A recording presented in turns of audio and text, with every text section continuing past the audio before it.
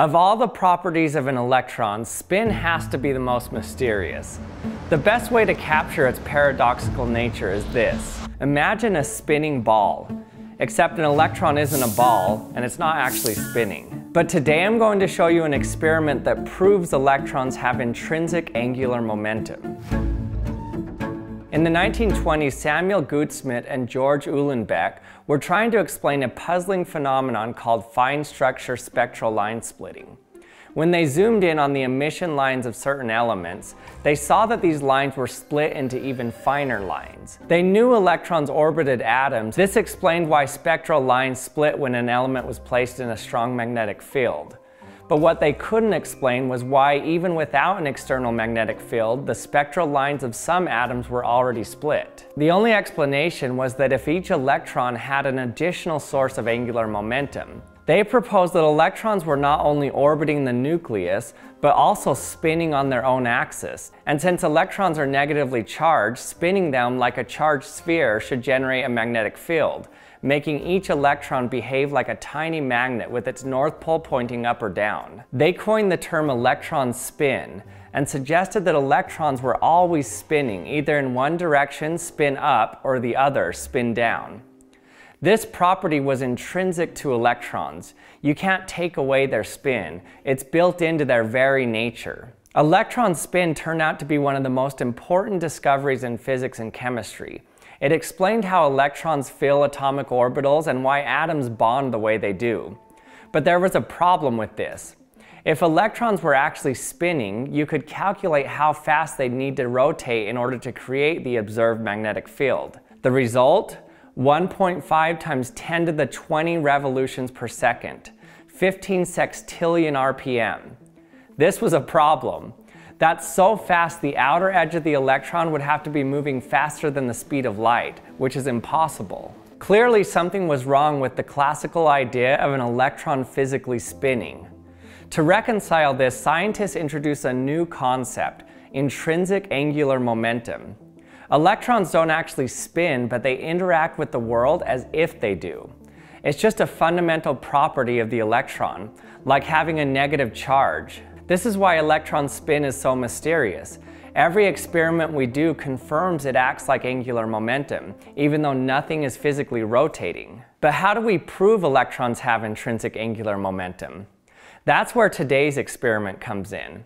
This was first proposed by Albert Einstein and Wander Johannes de Haas, and it's now known as the Einstein-de Haas effect. If electrons truly have intrinsic angular momentum, then that momentum must be conserved, just like regular angular momentum.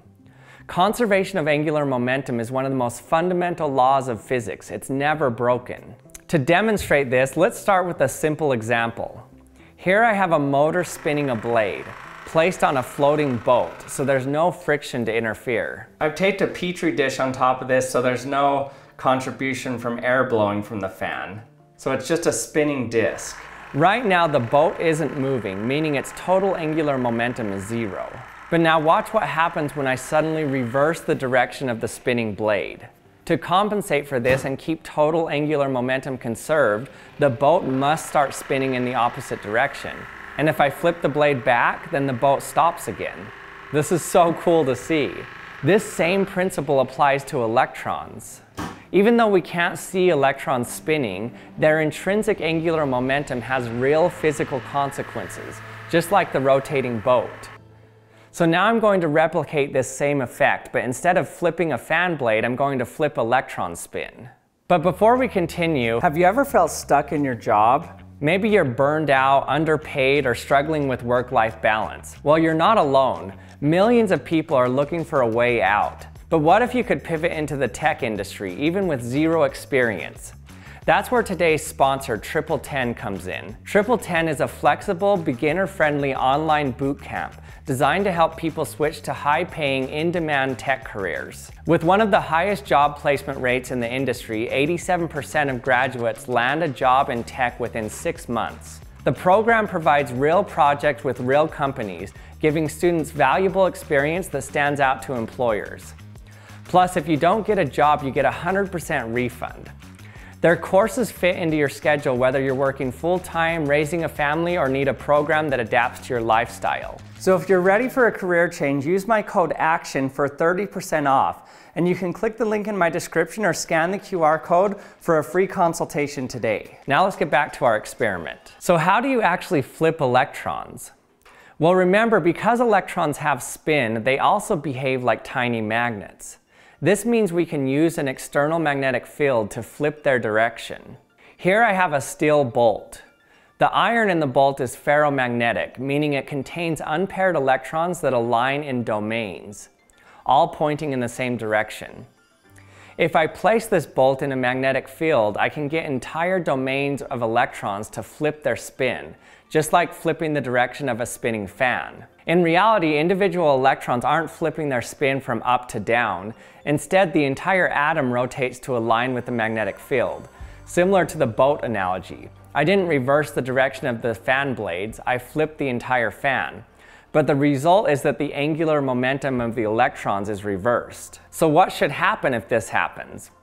If electrons truly have angular momentum, then flipping their spin should cause the entire bolt to start rotating. Now in an atom, an electron's mass is tiny, only about 0.03% of the total atom's mass.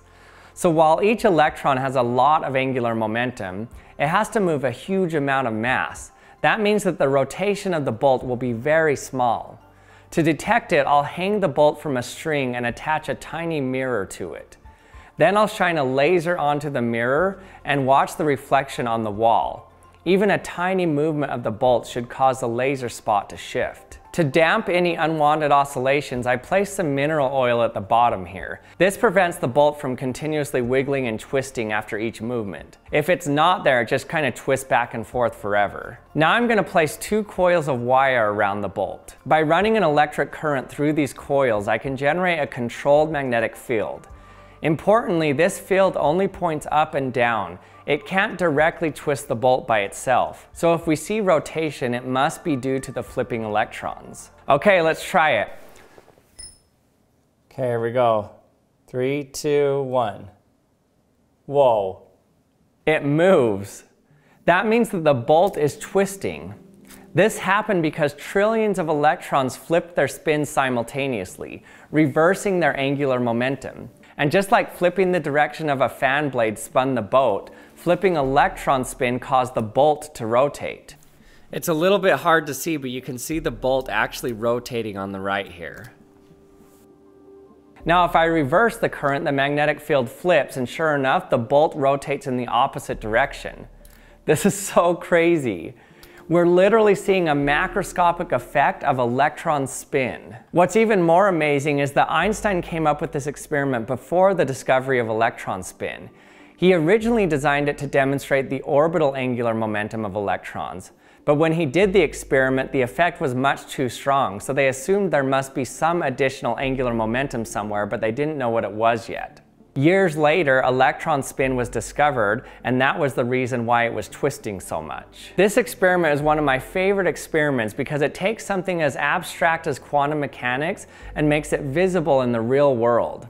Electron spin isn't just some theoretical concept, it's a real angular momentum that we can see a macroscopic effect of.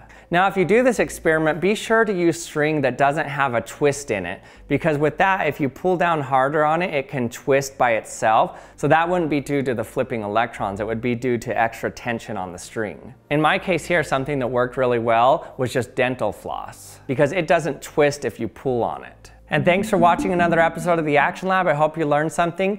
If you haven't subscribed to my channel yet, remember to hit that subscribe button and we'll see you next time.